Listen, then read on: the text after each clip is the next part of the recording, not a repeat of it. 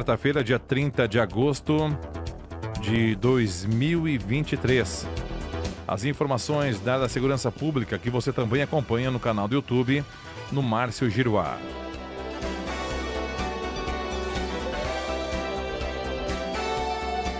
Vamos lá então, iniciando a primeira informação do nosso plantão policial, aqui da 98.7 FM.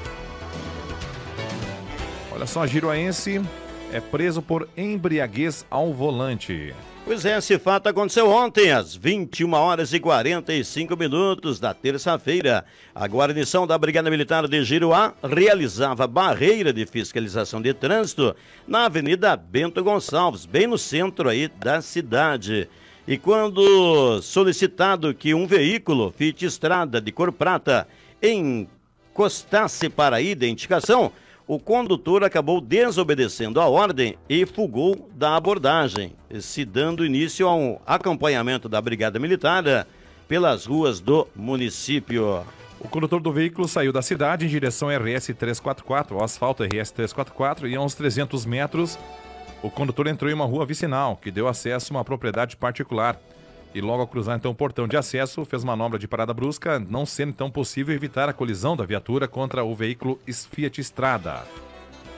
Aí os policiais abordaram o condutor que desceu do veículo.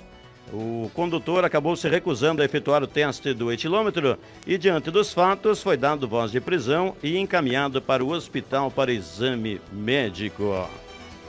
Foi divulgado, inclusive, no, no jornal O Butiá, deste final de semana, sobre o novo bafômetro na página 10 do Jornal Butiá da fiscalização sobre os motoristas que dirigem embriagados será mais intensa pela Brigada Militar de Giruá. Inclusive, a presidente da CONCEP, a Fátima Schneider, estava entregando ali na, na fotografia o etilômetro à Brigada Militar local. Então, a fiscalização está sendo realizada e o fato já aconteceu ontem à noite, então, com, com esse giroense que foi preso por embriaguez ao volante.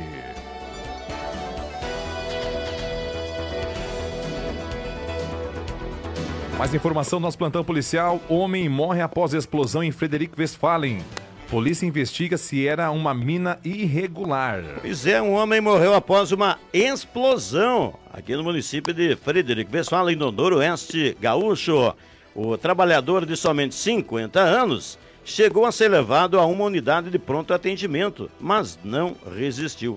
A vítima não teve a identidade revelada e a polícia investiga o fato, se o local onde ficava, uh, o local onde aconteceu a explosão, na linha São Francisco, se era uma mina irregulada. No momento da explosão estava um homem que morreu e um sócio dele. Os dois estariam fazendo a detonação de pedras, utilizando pólvora negra, quando o artefato então teria falhado. A princípio, o local não possuía autorização para funcionar, sendo um garimpo irregular, o que será plenamente apurado. Ainda não foi recolhido o depoimento oficial do sócio, mas ele nos informou durante a ocorrência que não possuía autorização para trabalhar no local, disse o delegado Jackson Boni. Segundo o delegado, a vítima teria ido verificar o que tinha ocorrido. E neste momento teria acontecido a explosão, o corpo do homem foi encaminhado para a necrópsia e o local foi isolado.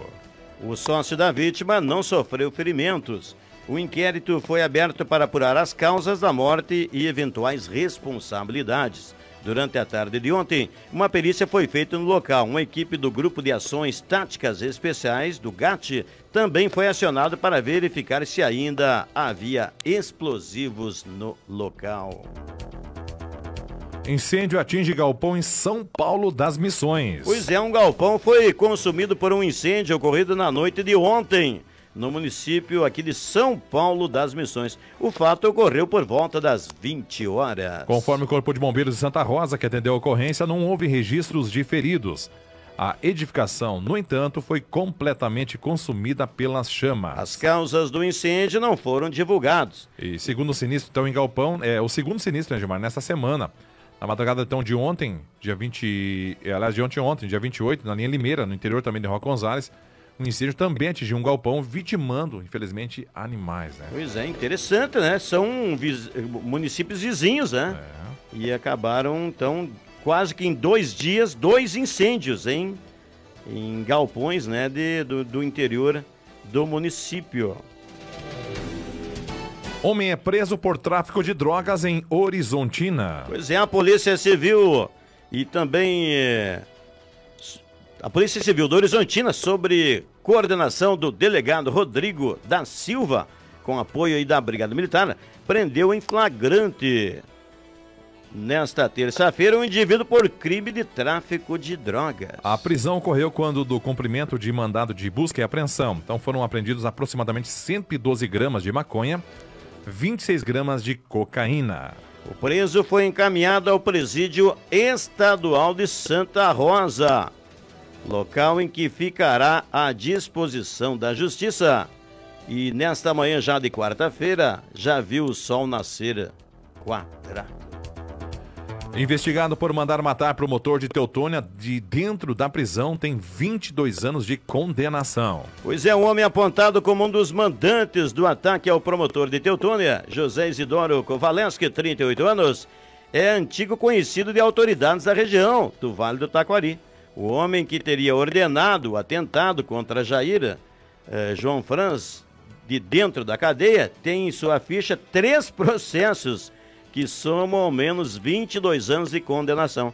Conhecido como Dedé, cumpre pena atualmente na penitenciária estadual de Arroio dos Ratos. Da onde que ele conseguiu dar autorização para o fato acontecer? De dentro do presídio, meu. É. Segundo a Polícia Civil, Kowalski integra a facção que tem berço no bairro Bom Jesus, na zona leste de Porto Alegre, e atua no estado. Ele seria um dos líderes desse grupo na região do Vale do Taquari. Ainda conforme a Polícia Civil, mais pessoas da família do Kowalski já atuavam junto ao grupo criminoso antes dele. Pois é, no total, o homem que nasceu em Seberi, na região noroeste, já cumpriu cerca de 17 anos e 7 meses de prisão. E ainda faltaria pouco mais de 4 anos para receber liberdade. No total, a condenação dele soma 22 anos e 2 meses e 24 dias. Esse período corresponde a três penas que ele recebeu ainda antes do caso do ataque do promotor. É. Muito bem, então foram essas as informações do nosso plantão policial desta quarta-feira, dia 30 de agosto de 2023. Lembrando que se você chegou agora, pode acompanhar na íntegra a nossa programação do nosso plantão policial no nosso canal do YouTube, lá no Márcio Giruá. Aproveite e faça sua inscrição, deixe seu sinal de like.